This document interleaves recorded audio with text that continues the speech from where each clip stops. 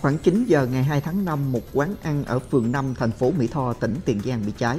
Nhận tin báo, Phòng Cảnh sát Phòng cháy chữa cháy và Cứu nạn Cứu hộ Công an tỉnh Tiền Giang đã huy động nhiều xe chuyên dụng và hàng chục cán bộ chiến sĩ đến hiện trường dập lửa.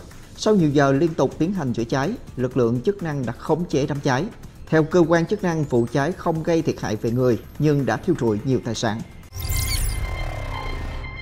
Ngày 2 tháng 5, nhà hàng Ăn Mộc phường 4, thành phố Đà Lạt cho biết vừa bị các đối tượng lừa đảo qua điện thoại với số tiền lớn. Theo nhân viên kế toán nhà hàng, sáng ngày 30 tháng 4, người đàn ông giới thiệu tên Hải công tác ở một cơ quan nhà nước trên địa bàn huyện Di Linh muốn đặt phòng từ 20 đến 25 người vào buổi tối cùng ngày, kèm theo yêu cầu nhà hàng chuẩn bị 12 chai rượu vang. Sau khi báo lại với khách hàng không có loại rượu vang theo yêu cầu, thì người tên Hải nói có người quen cung cấp loại rượu vang như yêu cầu và gửi số điện thoại để đặt đơn hàng hết 28,6 triệu đồng. Sau đó Hải tiếp tục gọi điện đến nhà hàng cần mua sâm làm quà tặng và phía đặt bàn đã lấy số tài khoản của nhà hàng nói đã chuyển tiền của 20 hộp sâm là 47,7 triệu đồng cho nhà cung cấp rượu. Tuy nhiên, kiểm tra tài khoản thì tiền nhà mua sâm vẫn chưa vào nên báo lại khách hàng. Lúc này Hải gửi tiếp bản chụp sao kê nên kế toán nhà hàng tiếp tục gửi 88,2 triệu đồng. Đến 16 giờ cùng ngày, người đặt bàn nói cần thêm 30 hộp sâm nên nhà hàng tiếp tục gửi thêm 71,5 triệu đồng. Tổng cộng nhà hàng đã chuyển 236,1 triệu đồng vào số tài khoản cho Dương Ngọc Khánh. Đến tối 30 tháng 4 sau khi khách đặt không tới nhà hàng, Triệu và sâm cũng không đưa tới thì nhà hàng mới phát hiện bị lừa đảo. Theo thông tin từ Cục Cảnh sát Giao thông, ngày 2 tháng 5, ngày thứ tư của kỳ nghỉ lễ 30 tháng 4, 1 tháng 5, toàn quốc xảy ra 21 vụ tai nạn giao thông đường bộ, làm 14 người tử vong, bị thương 17 người. So với ngày nghỉ lễ cùng kỳ năm 2022, số vụ tai nạn giảm 4 vụ, giảm một người tử vong, giảm một người bị thương. Đường sắt và đường thủy không xảy ra tai nạn. Thực hiện công tác tuần tra kiểm soát xử lý vi phạm, cảnh sát giao thông công an các địa phương đã kiểm tra phát hiện xử lý 9.703 trường hợp, phạt tiền gần 20,9 tỷ đồng, tạm giữ 168 xe ô tô, 4.426 xe mô tô, 18 phương tiện khác, tước 2.166 giấy phép lái xe các loại.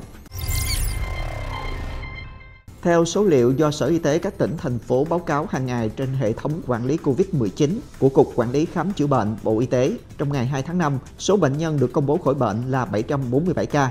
Tổng số ca được điều trị khỏi đến nay là 10 623.491 ca. Số bệnh nhân đang thở oxy là 137 ca. Trong ngày ghi nhận 4 ca tử vong tại Đà Nẵng 1 ca, Đồng Nai 1 ca, thành phố Hồ Chí Minh 1 ca, Lạng Sơn 1 ca, Tổng số ca tử vong do Covid-19 tại Việt Nam tính đến nay là 43.195 ca, chiếm tỷ lệ 0,4% so với tổng số ca nhiễm. Chiều 2 tháng 5, ông Hoàng Quốc Huấn, Chi cục trưởng Chi cục Kiểm lâm tỉnh Hà Tĩnh cho biết đang phối hợp với cơ quan chức năng điều tra xác minh làm rõ vụ việc phát hiện nhiều mét khối gỗ vào tối 1 tháng 5 tại khu vực suối Trào Giàng ở địa bàn thôn 9, xã Hương Lâm, huyện Hương Khê. Theo đó phát hiện có nhiều gỗ xẻ từ nhóm 5 đến nhóm 8 với khối lượng khoảng 5 mét khối nằm trễ rác trên lòng suối. Tại thời điểm kiểm tra, không thấy chủ số gỗ. Lực lượng chức năng đã huy động phương tiện ốc xếp vận chuyển số gỗ đưa về hạt kiểm lâm huyện Hương Khê để xử lý theo quy định của pháp luật.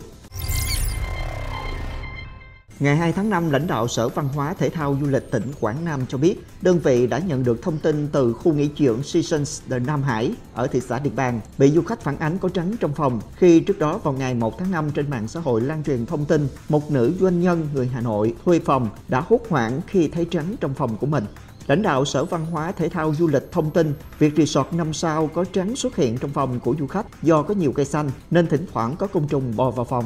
Ban quản lý khu nghỉ dưỡng luôn có đội công tác chuyên xử lý côn trùng, rắn, mũi trong phòng khách. Đội ngũ an ninh của khu nghỉ dưỡng cũng đã có mặt để hỗ trợ kiểm tra phòng và gọi bỏ tránh khỏi nơi được phát hiện. Đồng thời, ban quản lý khu nghỉ dưỡng đã trực tiếp xin lỗi du khách. Ngày 2 tháng 5, công ty BOT cầu Trạch Miễu cho biết trong ngày lượng phương tiện từ các tỉnh miền Tây lưu thông qua cầu Trạch Miễu tăng do người lao động bắt đầu quay trở lại các tỉnh miền Đông Nam Bộ sau kỳ nghỉ lễ. Ghi nhận tại tuyến quốc lộ 60 hướng Bến Tre đi Tiền Giang có đôi lúc bị ủng ứ. Trong ngày lượng phương tiện lưu thông qua cầu Trạch Miễu so với những ngày đầu của kỳ nghỉ lễ chưa cao, nhưng lực lượng cảnh sát giao thông Bến Tre vẫn có mặt để điều tiết, phân luồng, đảm bảo trật tự giao thông. Theo đó, cảnh sát giao thông Bến Tre đã 3 lần phối hợp với cảnh sát giao thông Tiền Giang phân luồng điều tiết giao thông một chiều để giải phóng lượng xe bị ủng ứ. Riêng trạm thu phí BOT cầu Trạch Miễu cũng đã hai lần xả trạm theo sự điều tiết của lực lượng cảnh sát giao thông vì lượng xe đông có tình trạng ủng ứ tại trạm thu phí.